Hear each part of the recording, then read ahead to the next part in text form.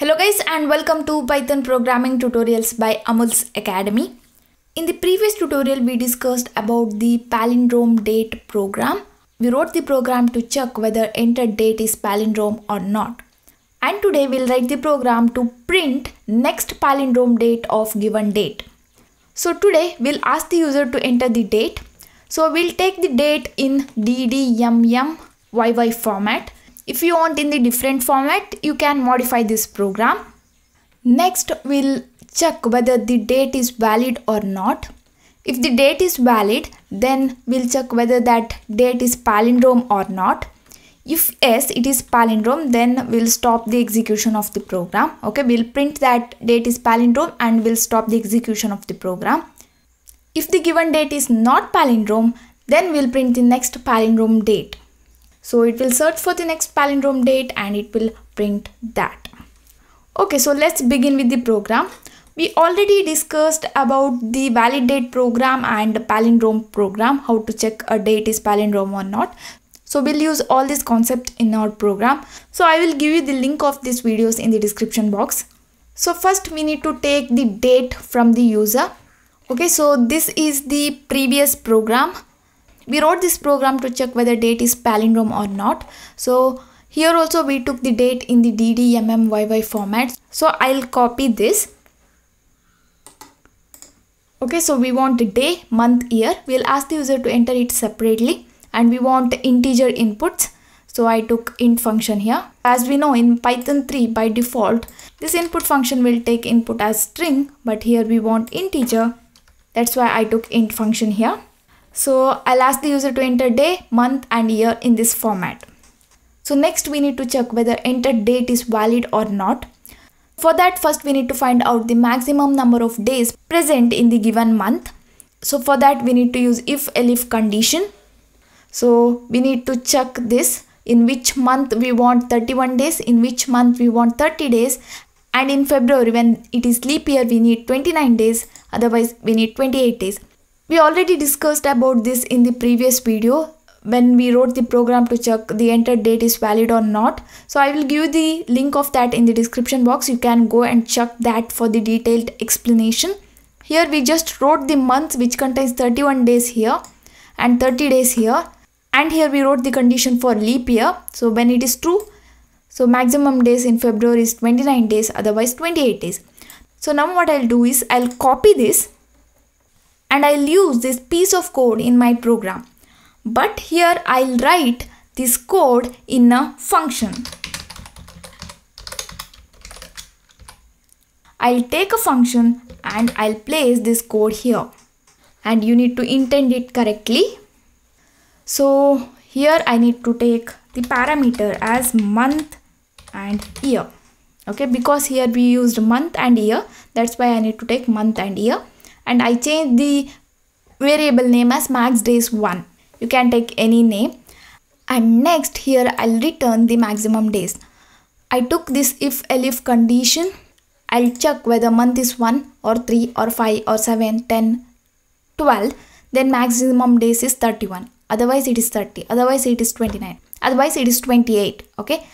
And I will return that maximum days from this function. Okay? So return maximum days here I took function name as function. You can take any name. So this function is to find out the maximum number of days present in the given month. We already discussed about these conditions in the previous video. Here I am taking this condition in a function and I change the variable name as max days 1 and I am returning this max days 1 from this function. That's it. Next, you may ask, in the previous program we didn't use any function.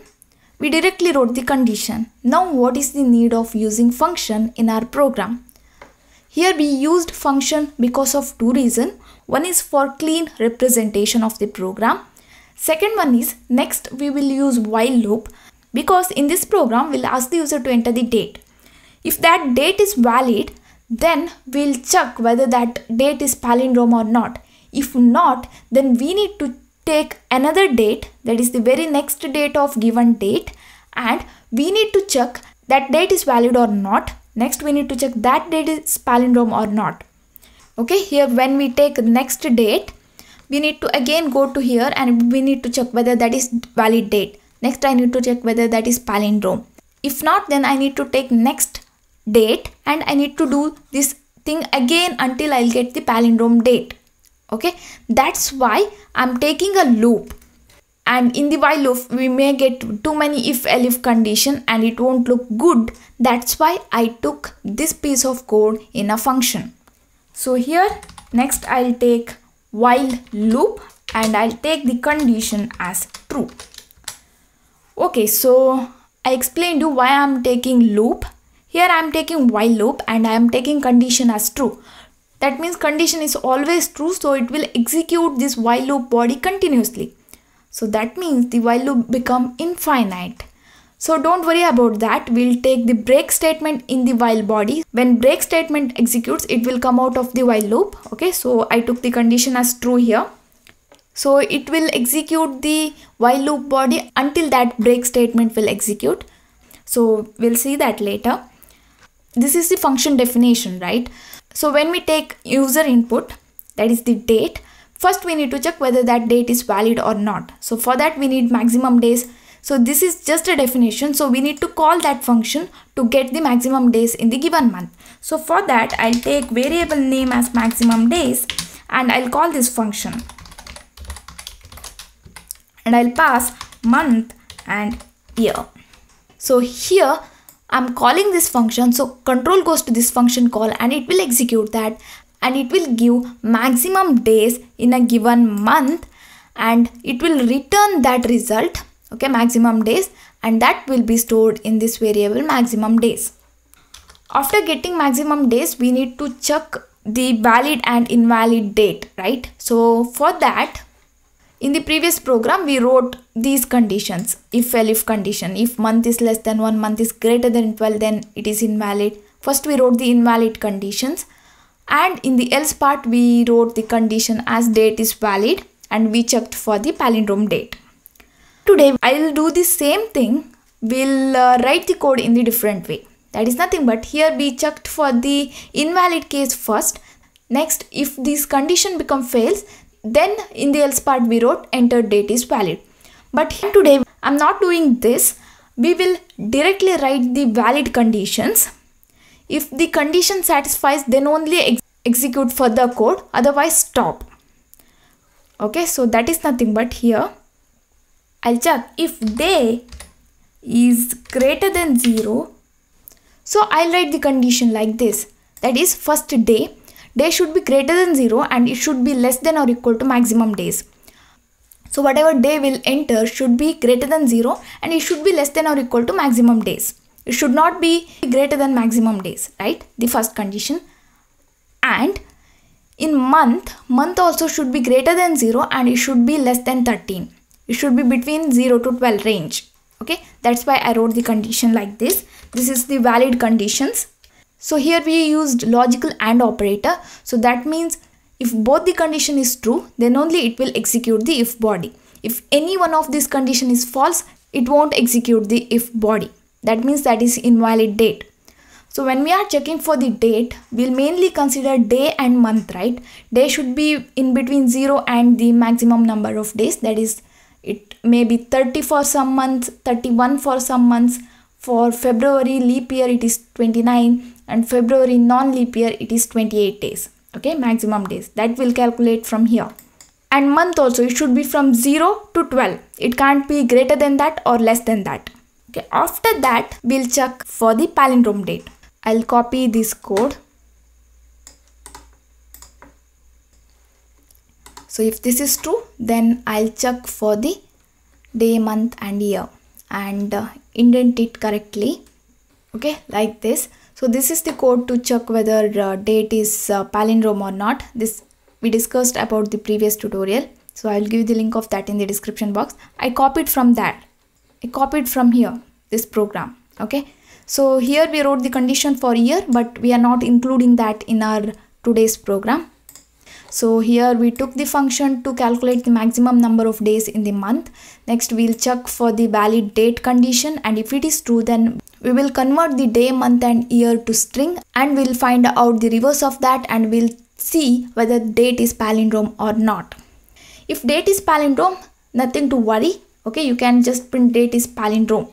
So you can take day, month, year like this. You can print like this and date is palindrome if it is not okay date is not palindrome then we need to check for the next date right so you need to increment day by 1 if day becomes greater than the max days if day becomes greater than max days when i increment it by 1 if it becomes greater than max days then i need to take day as 1 i need to increment month by 1 and I need to check whether month is greater than 12 if yes then I need to take month is equal to 1 and I need to increment year by 1 so that is nothing but if the given date is not palindrome then I need to increment day by 1 first. Next I need to check whether day is greater than maximum days. For example if uh, we are taking the January month if the given day is 31 if i do 31 plus 1 it will become 32 it is greater than maximum days right? That time i need to take day as 1 and i need to increment month by 1 right? That is the starting of next month. That's why. I need to increment month by 1 and uh, initialize day as 1 if month becomes greater than 12 then reassign month as 1 and increment year by 1 so when we get date as palindrome we need to stop the execution of program so we need to take break statement here. As i said we took while true condition right? The true means it is always true so it will execute while loop body continuously until this break statement will execute. When break statement will execute it will come out of the loop okay? So we are done with the program now. So we'll enter date 2102 2012 so it is a palindrome date. So it will print the date is palindrome and it will stop the execution of the program. If i take another date like 2202 and 2002 okay so that date is not palindrome. So it will print the next immediate palindrome date that is 1 to 2010 so this is the next palindrome date in ddmm yyyy format. So to improve that uh, print function you can do one thing. You can take count equal to 0 a variable and here you can check. When given date equal to reverse date you can check whether count is equal to equal to 0 that is nothing but if the given date itself is uh, palindrome then we just need to print the date is palindrome right? Else if given date is not palindrome if i want to print the next palindrome date then you can print you can take else condition and you can print is the next palindrome date. So I took a variable called count equal to 0 that is because here if you enter a date which is palindrome then it will print this message if the entered date is not palindrome then it will check for the next palindrome date. Then it will print this message. Here you need to take count is equal to count plus 1 in the else part. So if i save this and run this if i execute this now okay 2 to 20 is the next palindrome date okay so I took count just to print this two different print statement. Okay. When we are uh, find out in the next palindrome date, then I'll increment the count by one. Okay. That's why it will print this part, else part. And one more thing, when we'll check for the valid date condition, that is day should be in range 0 to max days and month should be in between 0 and 12 if this condition becomes true, then we'll convert our date to string and we'll find out that is palindrome or not. If that is not palindrome, we'll find out the next palindrome date. But if this condition becomes false, then we should write else part to this. We can print invalid date or any other message. So we need to write the else part for this if condition. Else, I'll print invalid date and I need to use break statement here because this if condition and else condition comes under this while loop and if I didn't mention that break statement it will execute this else part again and again. So once when we get the entered date is invalid, no need to check for anything else. We can just print invalid date and come out of the loop. So now if I save this and run this, if I enter any invalid date, if I enter month as 14, it will print invalid date and it will stop the execution of the program. I know this program is very lengthy. So I will give you the program in the description box. You can go and check that. Okay, so this is about this program. That's it for now guys. Thank you for watching. Don't forget to subscribe to my channel. I will meet you in next class. Till then, take care.